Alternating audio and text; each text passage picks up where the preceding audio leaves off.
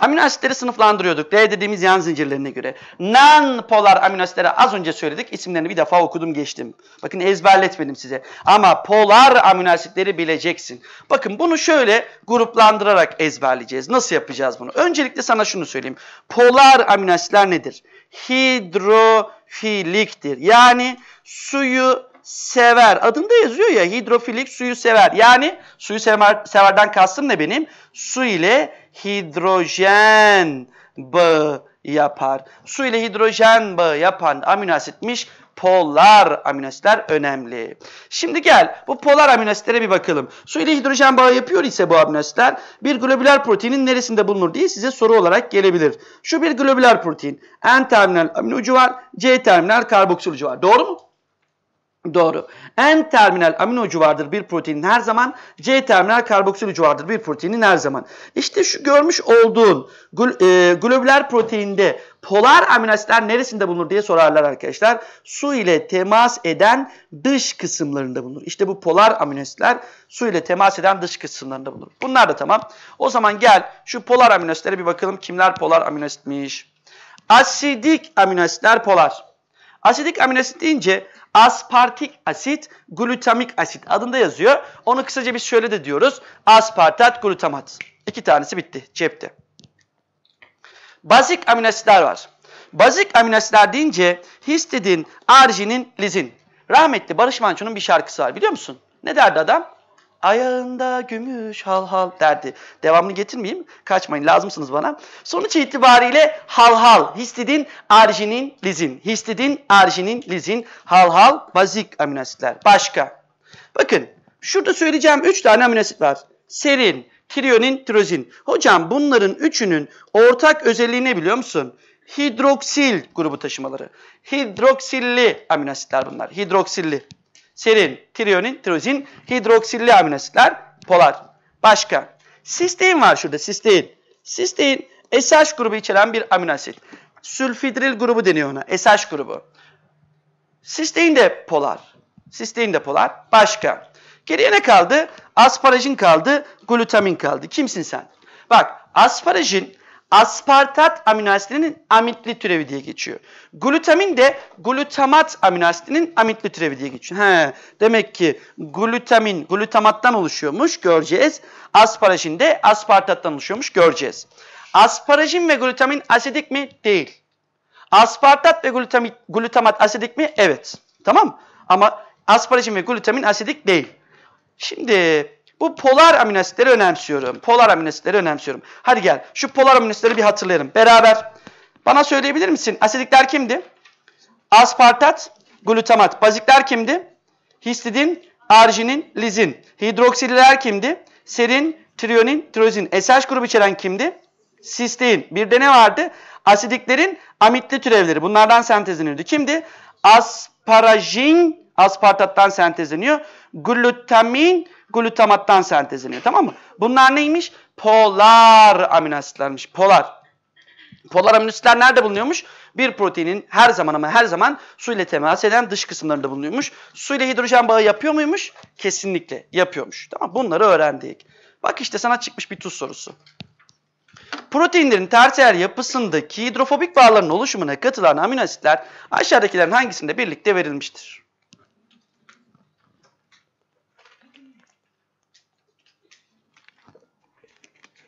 Var mı bir fikrin? Nasıl?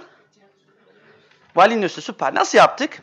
Ezberlemiyorduk aslında bilmiyorduk. Doğru mu? Hidrofobik bağ oluşumuna katılabilmesi için bir amino asitin hidrofobik amino asit olması gerektiği bilgisini verdim. Ama hidrofobik amino asitlerin kimler olduğunu hızlı yine okuyup geçtim. Ezberledin mi? Ezberlemedin. Yapabilir misin demiştim. Yapabilirsin. Zaten iki grubu var. Ya polar olacak ya non-polar olacak. Ya hidrofilik olacak ya hidrofobik olacak. Sen hidrofilikleri biliyor isen Biliyor muyuz? Hadi bir bakalım biliyor muyuz? Aspartat, asidik, hidrofilik, lizin, basik, hidrofilik, serin, hidroksilli, hidrofilik, glutamat, asidik, hidrofilik, tirozin, hidroksilli, hidrofilik, aspartat, asidik, hidrofilik, sistein, SH grubu içeriyor, hidrofilik. Eleyeceksin böyle. Sonuç itibariyle geriye kalan sağlar senindir. İşaretle geç. Anlaştık mı? Böyle yaklaşacaksın. Bu tarz sorulara böyle yaklaşmanı istiyorum. Yukarıdaki amino asit çiftlerinden hangisinin yan zincirler arasında hidrofobik etkileşimler gözlenir? Bunlar hep çıkmış tuz sorusudur arkadaşlar. Yapalım. Alenin valin ne dersin? Ha? Alenin valin. Alenin düşüneceksin. Bak hidrofobik bağ oluşumuna katılabilmesi için bir amino asitin etkileşime katılabilmesi için bunun tamamen non-polar hidrofobik olması lazım her ikisinde. Şimdi polarların içerisinde var mı diye düşüneceksin bu tarz bir soruda. İçlerinde bir tanesi polar olursa işaretleme lütfen. Hidrofobik etkileşim ancak iki hidrofobik amino asit arasında olur. Tamam? Dolayısıyla her ikisi de hidrofobik amino asit olacak. Valin, alenin. Düşünüyorum. Asidikler neydi bir söyle bana. Hadi on. Aspartat, glutamat. Onların amitle türevleri neydi? Asparajin, glutamin, hidroksiller neydi? Serin, triyonin, tirozin. SH grubu içeren kimdi? Sistein, bazik olanlar kimdi? Histidin, arginin, lizin. Var mı içlerinde? Yok. O zaman bu olabilir mi? Olabilir. Aynı mantıkla izolesin metyonunda düşündük. Bu da olabilir dedik. Serin, hidroksilliydi. Eledim. Dolayısıyla ne olacak cevap? 1 ve 2. Böyle yaklaşacaksın sorulara. Amino asitlerin özelliklerini tanıyoruz. Polar ve non-polar olarak ikiye ayırdık. Bir amino asitin formülünü yine karşına getirdim. Bakın merkezinde bir alfa karbon atomu var. Bu karbon 4 tane bağ yapar dedim sana. Bu 4 bağın 4'ü de birbirinden farklıysa ben bu karbon atomuna asimetrik karbon atomu diyorum. Diğer bir ifadeyle şiral, buna kiral diyen de var. Şiral ya da kiral karbon atomu deniyor. Bir amino asit asimetrik karbon atomuna sahip olduğu müddetçe o amino asit optikçe aktiftir diyorum. Ne demek hocam optikçe aktif? Polarize bir ışık gönderiyorsun. O polarize ışık düzlemini sağa sola çevirebiliyor. Bütün amino asitlerde bu optikçe aktif özelliği var mı dersen yok. Bir istisnası var. Birazdan söyleyeceğim. Şimdi arkadaşlar tüm amino asitler bir protein zincirinde L formunda bulunuyor. L. L. D ve L formları birbirlerinin ayna görüntüsünü veren bileşikler için kullanılıyor. Arkadaşlar stereoizomer, optik izomer, enantiyomer deniyor. Bu kavramı karbonhidratlarda da kullanmıştık. Aynı hikaye. Şimdi bakın glisin en küçük amino asittir glisin. Sen bile çizebilirsin aslında glisinin formülünü. Bak nasıl çiziyorum. Alfa karbon atomu, karboksil grubu, amino grubu, hidrojen ve R dediğim yağ zincirinden oluşuyordu. Genel amino asit formülü. Doğru mu? Glisindeki hikaye ne? Şuradaki R gidiyor glisinde. Yerine sadece hidrojen geliyor. Evet. Glisinin formülü bu biliyor musun? En küçük, en basit amino asit deniyor bu yüzden glisine. Güzel. Peki bir şey merak ediyorum. Şu merkezdeki alfa karbon atomu sence asimetrik mi? Bence değil. Sence? Asimetrik değil. Niye değil hocam? Bak dördü de farklı değil. Bir, iki, üç. Aa üçüncüyle aynı. Doğru mu? Dört grubun dördü farklı olsaydı ben buna ne diyordum? Asimetrik karbon diyordum. İşte sana soru. Asimetrik karbon atomuna sahip olmayan amino asit kim? Glisin. Asimetrik karbon atomuna sahip olmadığı için polarize ışık düzlemini sağa sola çeviremeyen kim? Glisin. Optikçe inaktif olan kim? Glisin. Sana bir bonus bilgi vereyim. D ve L formu olmayan kim? Glisin. Yazacaksan onu yaz. D ve L formu olmayan kim? Glisin. Evet, amino asitlerin özelliklerini tanıyoruz. Bir diğer önemli özelliği neymiş? Amfoterik moleküllermiş. Hayda, terminoloji önemli. Amfoterik ne demek? Bir bakalım. Bakın arkadaşlar, alfa karbon atomu, karboksil grubu, amino grubu, hidrojen ve R dediğim yan zincirinden oluşuyordu bir amino asit. Bakın karboksil grubu proton pH, e, fizyolojik pH'da proton verdiği için negatif yükleniyor ve asit karakter gösteriyor. Asit. Amino grubu fizyolojik pH'da proton aldığı için pozitif yükleniyor ve bazik karakter gösteriyor. Bazik. Biz şöyle bir tanım kullanıyoruz. Üzerinde aynı anda hem asidik hem bazik grupları içeren moleküllere ben amfoterik moleküller diyorum. Tanım, terminoloji benim için önemli. Bu tanımı bilmen lazım. Sana izoelektrik pH'yı birazdan anlatacağım. Zwitterion ne demek birazdan anlatacağım. Şimdilik sadece izoelektrik pH deyip orayı bir çiz. Zwitterion de orayı bir çiz. Ben sana birazdan bunları anlatacağım. Histidin bir amino asit yolda gelirken gördün. Nasıl bir amino asit? Asidik mi, bazik mi? Ha? Bazik olduğunu gördün. Doğru mu? Bazik bir amino asit. Bazik bir amino asit ise polar mı? Polar. Bunu da gördün. Bakın bazik bir amino asit olduğunu, polar olduğunu gördün. Bu bilgileri artık kullanacaksın. Bunun halka yapısı var halka. Adamın halka yapısının özel bir ismi var. Bu halkalar sorulur biliyor musun? Histidin imidazol halkası içeren bazik bir amino asittir. Önemli. Histidinin en önemli özelliği ise fizyolojik pH'ya yakın bir pK değeri, pI değeri olduğu için tamponlama yeteneği en fazla olan amino asitmiş histidin. Tamponlama yeteneği en iyi olan, en fazla olan amino asit kim? Cevap histidin olacak. Şimdi sizlere şu yeşil kutucuğun içerisindekileri bir ifade etmek istiyorum arkadaşlar. Yeşil kutucuğun içerisindekiler senin için ne anlam ifade ediyor bir bakmamız lazım. Şimdi bakın. Bunları sen de şöyle okurdun eve gidince. pK değerleri asitlerin gücünü gösterir. Asitlerin relatif güçleri onların ayrışma sabiti K veya ayrışma sabitinin negatif logaritması pK ile belirtilir. K değeri yüksek veya pK değeri düşük asitler kuvvetli asitlerdir. İzoelektrik pH değerinde bir amino asit net yük taşımaz. İzoelektrik pH izoelektrik noktaların her iki tarafındaki pK değerleri arasındaki ortalama pH değeridir. Ne anladın? Anladın mı bir şey? Ya her sorunun cevabı var sen de söylemekten çekinme. Anladın mı bir şey? Sen mi soruyorum anladın mı? Anlayanlar? Anlamayanlar? Aradakiler? Ya burada anlaşılacak bir şey yok. Anlatmadım. Dolayısıyla anlamaman gerekiyor. Doğalı o. Ama dersen ki bir tane çocuk izledim videosu 5 yaşında mı 10 yaşında mıymış 11 yaşında mıymış. Çılgın aile övünüyor. Lan öyle bir çocuk bende olsa ben korkarım. Annesine babasının röportajı CNN'e mi çıkmış Habertürk'e mi çıkmış. Susturuyor lan izlediniz mi onu sağda solda dolanıyor. Dedim elimin tersiyle bir tane çocuk dediğin çocukluğunu bilecek baba o nedir lan? Yani küçükte büyümüş kafa şey yapıyor bana akıl veriyor. Anne baba sen bir sus falan diyor. Ayda bizim kız bana öyle deyince hele bir sen dedim iki dakika bir sus. Şimdi ben sana ne anlatayım? Bak bunların hepsini bir anlatayım. İzle beni olur mu? Hepsini yazdım zaten. Sadece izlemeni istiyorum.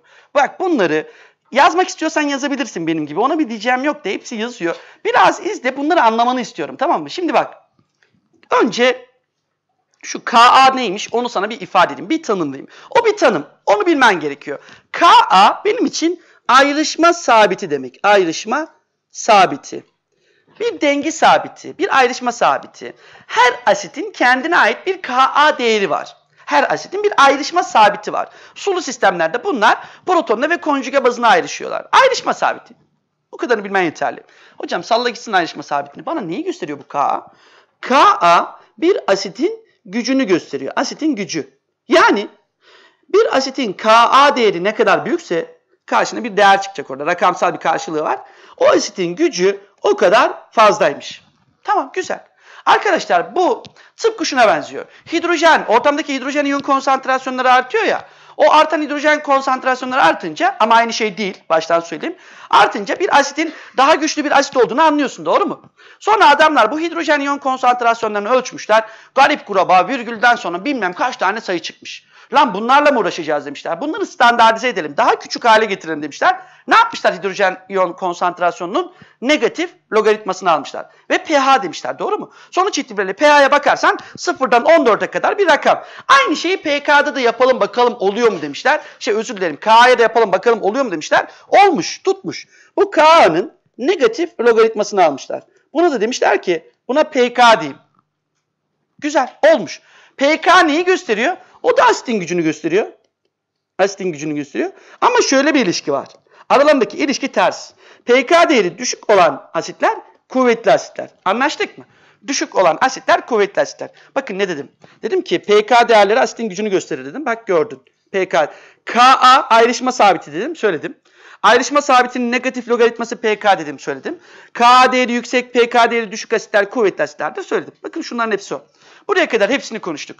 Alanım dar, sayfa bana yetmiyor. Gel aramızda bir beyaz sayfa açalım. Şimdi sana şuradan sonraki hikayeyi anlatacağım. Şurayı anlatacağım. Bir beyaz sayfa açalım. Nasıl oluyormuş bir anlatayım. Şimdi bir amino asitin formülüyle yine karşı karşıya kalacaksın. Bu formülü önemsiyorum. Bak alfa karbon atomu, karboksil grubu, amino grubu, hidrojen ve R dediğim yağ zinciri. Bu karboksil grubunun pK değeri kabaca 2 civarında. Bu amino grubunun pK değeri kabaca 10 civarında. Bütün amino asitlerin karboksil grubunun pK değeri kabaca 2 civarında. Amino grubunun pK değeri de kabaca 10 civarında. Sana biri sorsa desek ki Karboksil amino yazmadı. Kabaca şöyle dedi ki pK değerleri sırasıyla 2 ve 10 olan çözeltiler var. Bunların hangisinin asitlik kuvveti daha fazladır diye sordu. Hangisinin asit olma ihtimali daha fazladır diye sordu. Ne dersin? 2 olanın mı 10 olanın mı? 2. Aklın yolu 1 tamam mı? pK değeri düşük olanlar kuvvetli asitlermiş. Güzel. Buraya kadar tamam. Şimdi ben bu pK değerlerinden yola çıkarak PI denilen bir şey hesaplıyorum. PI. Bu ne demek biliyor musun? İzoelektrik nokta. İzoelektrik pH. İzoelektrik pH. Aynı şey. Bak pH demiyorum. İzoelektrik pH diyorum. Bunu hesaplıyorum. PI denilen bir kavram anlatıyorum şu anda sana. Bunun adı izoelektrik pH, izoelektrik noktaymış. Bir amino asitin PI değeri şöyle hesaplanıyor. Karboksil grubunun pK'sı artı amino grubunun pK'sı bölü 2 eşittir 6. Peki hocam bu 6 PI bana neyi gösteriyor? Şunu gösteriyor. Bir amino asiti, bir yani şu amino asiti, bir demeyeyim, şu amino asiti ortamın pH'sı, ortamın pH'sı 6 olan bir yere koyduğunda o izoelektrik noktasıymış onun. 6 olan bir yere koyduğunda bu amino asitin karboksil grubunun tamamı negatif yükleniyor. Güzel. Amino grubunun tamamı da proton alacağı için pozitif yükleniyor. Güzel. Net yükü nedir diye sorarlar. Sıfır. Yani işte bu pH değerinde bu amino asit net yük taşımaz. Net yükü sıfırdır. Ben bu formuna, amino asitin bu formuna ne diyorum biliyor musun? Sivitterion. Çiz demiştim ya. Sivitterion. Bak burada açıklayacağım demiştim. Onu orada okusam anlamazdın zaten. Tamam mı? Sonuç itibariyle orada okumanın bir anlamı yoktu.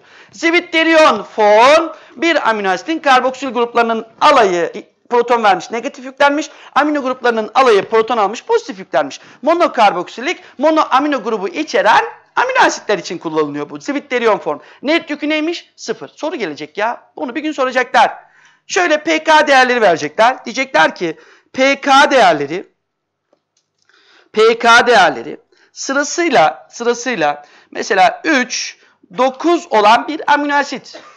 Aşağıdaki pH değerlerinin hangisinde zivitterion formda bulunur? Soru 1. Bu amino pI değeri aşağıdakilerden hangisidir? Soru 2. İkisi de aynı şeyi işaret ediyor aslında. Tamam mı? Nasıl yapacaksın böyle bir soruyu? İkisini toplayıp ikiye böleceksin. Tamam İkisini toplayıp ikiye böleceksin. Kaç çıkıyor? Yine mi 6? Öyle bir şey. Peki adam dedi ki pK değerleri pK değerleri sırasıyla 2, 3 ve 10 olan bir amino asit var. Bunun pI değerini hesapla bana. Veya şöyle dedi. pK değerleri sırasıyla 10, 2, 10, 12 olan bir amino asit var. Bunun pI değerini hesapla dedi. Böyle bir durumda ne yapacaksın? Bakın arkadaşlar. Hangi amino asitlerin 3 tane pK değeri olur? Onu söyleyeyim sana. Bu amino asit ya asidiktir ya baziktir. Birazdan asidik bazik amino asitlerle ilgili biraz daha konuşacağım. Böyle bir amino asitte R dediğim yan zincirinin kendine ait bir pK değeri var. Tamam Asidik amino asitlerde fazladan bir karboksil grubu var diyeceğim. Karboksil grubu asit karakterdedir. Dolayısıyla onun pK değerinin 3 olma ihtimali yüksek. Bazik amino asitlerde fazladan bir amino grubu var diyeceğim. O amino grubu da bazik karakterdedir. Onun da yan zincirinin amino grubunun 12 olma ihtimali yüksek. Buradan anlayacağız. Peki boş ver hocam bunları. Bana bunun nasıl pH'sini hesaplarım dersen size kolayını söylüyorum. Asidik amino asitlerde karboksil gruplarının pK'sını toplayıp ikiye böleceksin. Daha da kolayını söylüyorum. Yakın, küçük olanları toplayıp ikiye böleceksin asidiklerde. Baziklerde ne yapacaksın? Büyük olanlarını toplayıp ikiye böleceksin. Birbirlerine yakın, büyük olanlarını toplayıp ikiye böleceksin. Bundan daha basit bir bilgi veremeyeceğim sana. Tamam Bir bazik amino asit verirse büyükleri toplayıp ikiye böleceksin. Asidik amino asit verirse de küçük rakamları toplayıp birbirine yakın olan küçük rakamları toplayıp ikiye böleceksin. İki tane rakamı toplayacaksın.